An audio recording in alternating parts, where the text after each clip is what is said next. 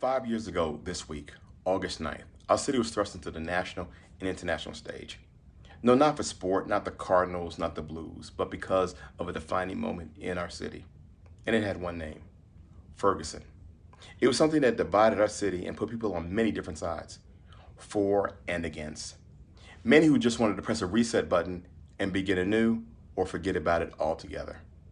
But over the past five years, I've seen people heal communities starting new conversations, looking at each other and even those we don't know with a little bit more grace and understanding. But that hadn't been everybody. There's more work to be done. We're not finished yet. We all can do more particularly those of us that carry this abiding faith that Christ is the answer. Our divisions are not so wide a chasm that we still can't talk. We don't always have to agree, but in our disagreement, it doesn't have to make us enemies. We are truly our brother's keeper. With that in mind, let's keep love, let's keep hope, let's keep peace in our community. Let our words and actions reflect how we as Christians will lead the way forward.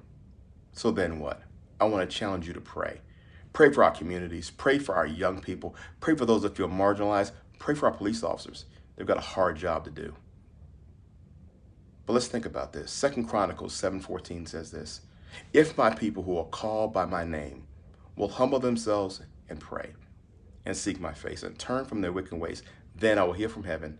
I will forgive their sin and I will heal their land for all the broken hearts and broken places in our society. There's no law, there's no superhero, there's no politician to do it for us.